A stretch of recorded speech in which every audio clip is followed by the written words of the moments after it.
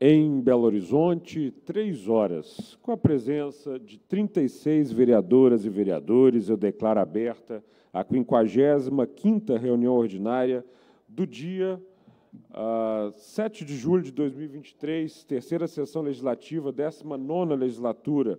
Convido o vereador Rubão, MC Rubão, que ganhou noticiário ontem pelo seu funk, e, e, e funk é uma expressão que essa cidade inteira canta, Rubão. Então você representa essa cidade, sim. Faça agora a leitura de um versículo das Sagradas Escrituras, por favor. Boa tarde. Quem com ferro fere, com ferro será ferido. Não, isso é, isso é, isso é versículo? Qual versículo que é esse? Não, você está falando sério ou não é não? Não, lê alguma coisa lá da. Não vai derrubar.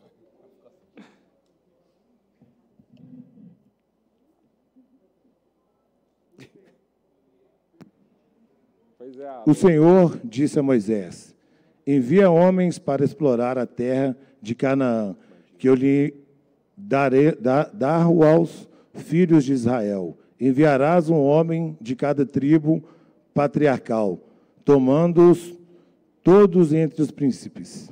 Enviou-se Moisés do deserto de Faraó, segundo as ordens do Senhor. Todos esses homens eram príncipes em Israel.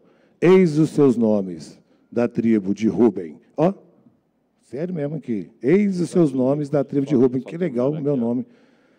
Samuá, filho de Zacur, da tribo de Simeão. Zafate, filho de Uri, da tribo de Judá, Celebe, filho de José, da tribo de Isacar, Igar, filho de José, da tribo de Efraim, Osés, filho de Num, da tribo de Benjamim. Só isso. Amém. Amém. É, sob a proteção de Deus, em nome do povo de Belo Horizonte, iniciamos os nossos trabalhos. Não tendo esta presidência recebido impugnação da ata da 53ª reunião ordinária realizada em 5 de julho de 2023, eu comunico a sua aprovação nos termos regimentais. Agora, às 15 horas e 2 minutos, nós passaremos à ordem do dia. Senhor secretário, não há proposições a serem apreciadas, correto? Então, correto. às 15 horas e 2 minutos, não tendo também anúncios a serem feitos, passaremos ao grande expediente para assuntos gerais do regimento, Senhora vereadora Luíde Gonçalves, do Podemos, por favor.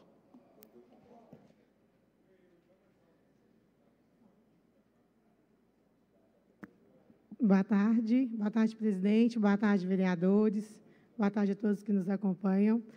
Hoje, presidente, eu venho a este microfone porque eu estou um pouco indignada com o que está acontecendo comigo ali na região norte. Né? A gente tem, assim, é, já não está acontecendo nada para mim. Iniciei o meu, o meu mandato em fevereiro. Pautas minhas visitas técnicas. Agora, de um mês para cá, começaram a fazer campanha até para deputado. Eu chego na visita técnica, eu tenho que escutar as pessoas falando o nome de deputado. Já não basta ter que falar do vereador. Fui realizar uma visita técnica numa praça. Ah, mas fulano de tal vai fazer isso aqui. Eu estou com a visita na BH Trans, olhando a questão da situação da via, do tráfico dos carros. Ah, mas fulano de tal destinou emenda para reformar essa praça. O que, que eu tenho a ver com isso, com a praça? Eu estou lidando com a BH Trans. Aí o tempo todo, as pessoas que estão indo nas minhas visitas representar a região norte, eu não sei de onde que elas são. Eu só sei que eles andam com o papel na mão, anotando o telefone de quem está perto. Quando eu olho para o lado, está lá cochichando com os moradores. E eu estou ficando sem entender o que está acontecendo na regional norte. Porque, para mim, nenhuma demanda minha está sendo atendida. Nenhuma. Pela primeira vez, a Germa, depois de muita luta, porque até gerente de manutenção falar que não poderia atender vereador, eu escutei. Se eu não ligo para o secretário Josué Valadão e falo com ele que eu ia convocar ela aqui, ela não teria, até hoje ela não estaria indo nas minhas reuniões, nas minhas visitas técnicas.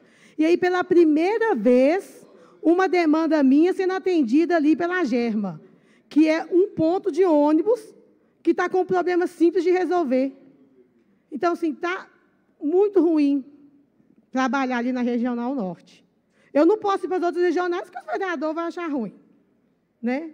Então, tem que trabalhar ali. Agora, trabalhar e ainda ter que escutar os funcionários da prefeitura falar de deputado, está difícil. Está difícil, presidente. Infelizmente, eu acho que a prefeitura tem que tomar providência sobre isso, porque eu não estou aguentando. Eu não estou aguentando. Eu não, hoje mesmo, nessa visita de hoje, quase que eu briguei Estou lá fazendo meu trabalho e toda hora o funcionário da prefeitura perguntando para o morador qual é o nome do deputado que colocou verba aqui. Posso tempo usar de tempo de liderança? Obrigada. Deferido. Toda hora o funcionário perguntando para o morador o nome do deputado que está colocando verba ali.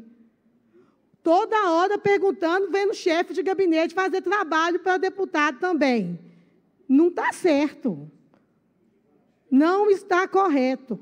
Então, eu peço encarecidamente ao secretário Josué Valadão né, que não, não mande esses funcionários da prefeitura, porque eu não sei nem para onde que vai esses relatórios, que inclusive eu já apresentei um pedido de informação dos relatórios das minhas visitas técnicas, que eu quero saber o que está sendo passado. Eu gostaria de saber o que, que está sendo passado, que eu já perguntei duas vezes. Para onde que vai esses, essas, essas anotações que você faz? Ah, eu estou fazendo um relatório, mas vai para onde? Para onde que eu não sei porque nenhuma obra minha não consegue sair do papel. Eu só estou conseguindo resolver um problema grave da Regional Norte ali, porque eu, no, seria o papel da coordenação, no dia da visita, eu levei o, D, o DENIT, o DR, levei a BH Trans, levei o secretário. Porque na hora que falou que tinha que depender da autorização do DR, o DR estava lá na hora. Na hora que falou que precisava da BH Trans com projeto, a BH Trans estava na hora. E naquele momento, elaborado o projeto, o DR autorizou e o secretário também autorizou aquela obra, que vai sair agora em agosto. Inclusive, está precisando de começar lá, porque o pessoal está me cobrando, que nós gravamos o vídeo e até hoje não começou. Então, assim, eu gostaria de pedir o apoio do, né, do secretário Josué Valadão, do nosso querido prefeito, nas, nas minhas visitas técnicas, se for para ir alguém representando a Regional Norte, que vá alguém realmente que vai me ajudar a resolver o problema. E não para conhecer a região, conhecer o lugar ruim, porque eles chegam na visita, não sabem nem o que está acontecendo ali. Não sabem nem o nome da rua direito. Então, não adianta. Muito obrigada, viu, presidente? Boa tarde. Obrigado, senhora. Vereador Irlan Melo, líder do Patriota. Senhor presidente, boa tarde. Eu quero cumprimentá-lo e também todos os colegas vereadores e vereadoras. É, eu venho hoje aqui para continuar no soneto de uma nota só: transporte suplementar. Ouvi atentamente as palavras da vereadora Loide. Como é ruim, vereadora, quando você realmente não tem um retorno de quem você está fiscalizando, não é verdade? Então, eu me solidarizo com Vossa Excelência. Acho que a prefeitura tem que entender que esse parlamento merece respeito, que o poder legislativo merece respeito e que todos os vereadores têm a sua representação. Então, nós precisamos realmente que os vereadores eles possam ser respeitados na sua base, eles possam ser respeitados na sua atuação. E hoje, Vossa Excelência, inclusive, acompanhou comigo a votação do veto que foi dado ao sistema suplementar e ao tarifa zero nos domingos e feriados. Eu até, eu até vi a apresentação da prefeitura e do superintendente André Dantas em relação aos vetos. Interessante que ele colocou lá sábados e domingos. Eu não sei onde que ele tirou isso, vereador, porque no texto diz domingos e feriados. Não sei. Talvez é por isso que veio a, a, o veto, né? Porque não entendeu o que estava sendo votado ali. Mas o que eu quero dizer para vocês é o seguinte: hoje a comissão aprovou a rejeição do veto. A rejeição. Por quê? porque entendeu que não tinha nada de inconstitucionalidade no veto, no, no projeto, nada de inconstitucionalidade. Nós não somos chancela do Poder Executivo. Nós não estamos aqui para dizer sim ou não apenas. O Supremo Tribunal Federal tem jurisprudência majoritária no sentido, vereadores, de que cabe ao Poder Legislativo, tem a prerrogativa de emendar projetos do Poder Executivo. É claro, tem que ter observância temática. É claro, tem que observar a lei de responsabilidade fiscal. Mas nós temos essa prerrogativa e não abrimos mão disso. Não abrirei mão disso. Agora, nós temos companheiros do suplementar que estão desesperados. Vereador Aloíde, vereador Braulio, vereador Jorge Santos, viram hoje o representante até chorar na comissão.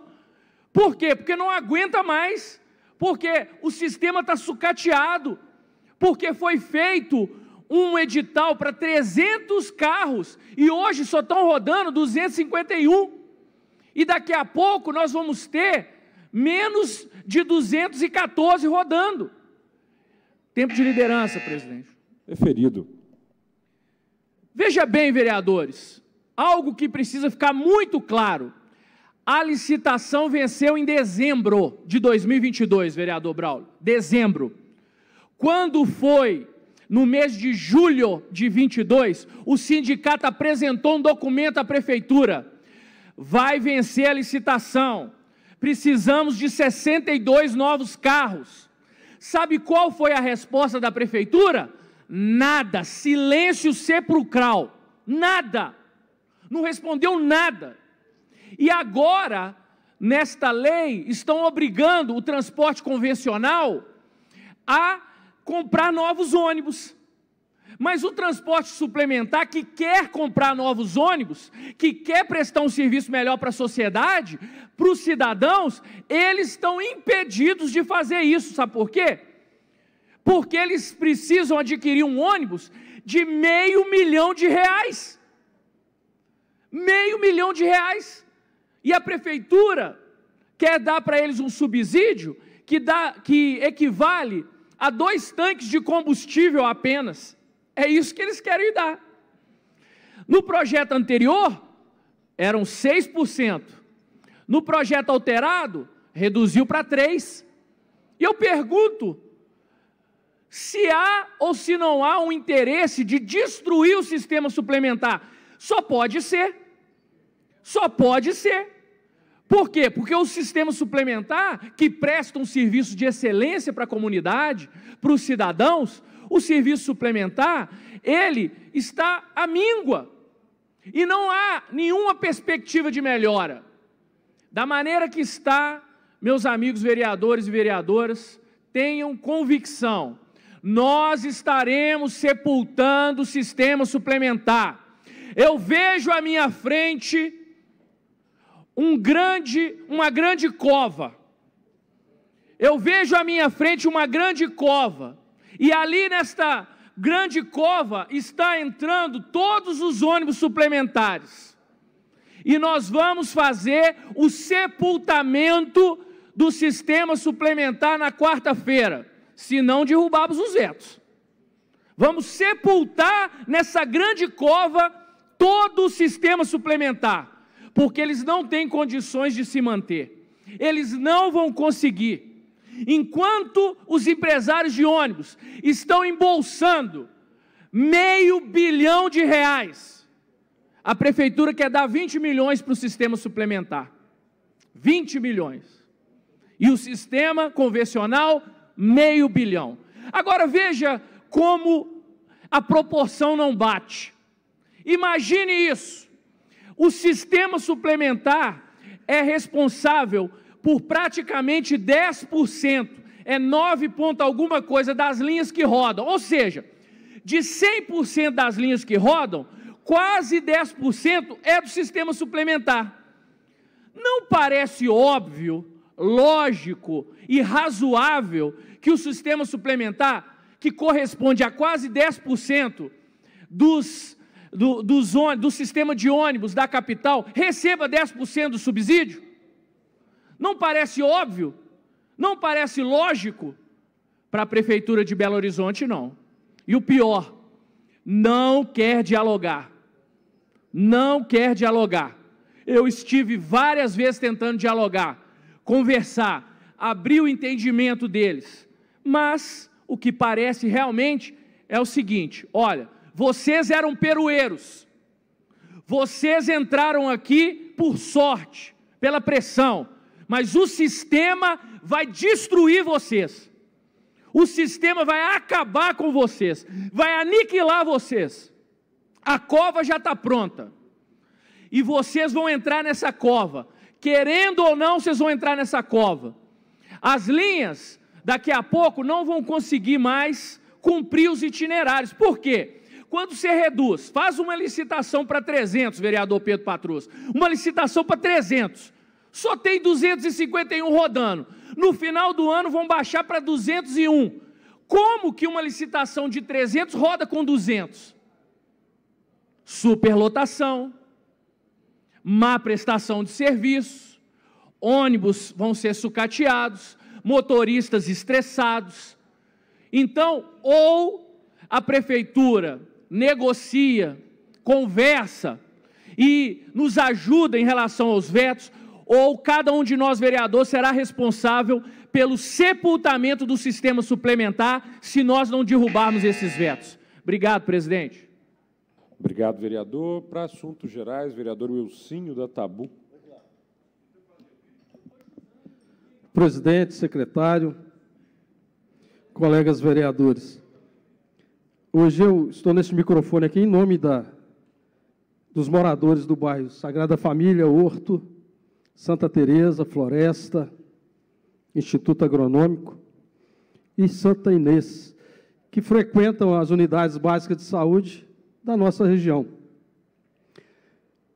E desta vez, presidente, eu vim para poder agradecer uma luta de tanto tempo nossa, que é a construção da PPP, da Unidade Básica de Saúde do bairro Horto, que já iniciou-se aproximadamente aí, a gente tem uma previsão de que em 12 meses, dentro de um ano, ela já estará funcionando, o que vai desafogar bastante a unidade básica de saúde da Sagrada Família.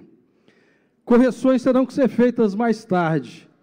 Uma das correções é que o centro de saúde do bairro Sagrada Família está localizado no Horto. O centro de saúde do Horto, que está sendo construído lá a nova unidade, a PPP, no mesmo local onde era já funcionava, está funcionando no bairro Santa Teresa. E a gente vem aqui para cobrar que o bairro Sagrada Família, que é o bairro mais populoso da cidade de Belo Horizonte, tenha a sua unidade básica de saúde. São mais de 40 mil moradores no bairro Sagrada Família. É mais do que 80% das cidades do interior de Minas.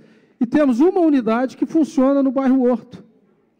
Então, é justo que tenhamos uma unidade básica de saúde no bairro Sagrada Família, que possa atender com qualidade aquela população e que possa dar dignidade também para os trabalhadores da saúde fazerem seus serviços com mais perfeição, com mais qualidade para todos que buscam a unidade básica de saúde. Então, senhor prefeito Josué Valadão, o senhor prefeito Fuad Noma, senhor secretário de governo Josué Valadão, eu venho aqui encarecidamente pedir mais uma vez que seja construída uma unidade básica de saúde no bairro Sagrada Família.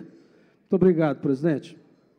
Obrigado, vereador. Não havendo mais vereadores que queiram fazer o uso dos assuntos gerais, às 15 horas e 19 minutos, eu declaro encerrada essa sessão. Até segunda-feira, uma boa tarde a todos.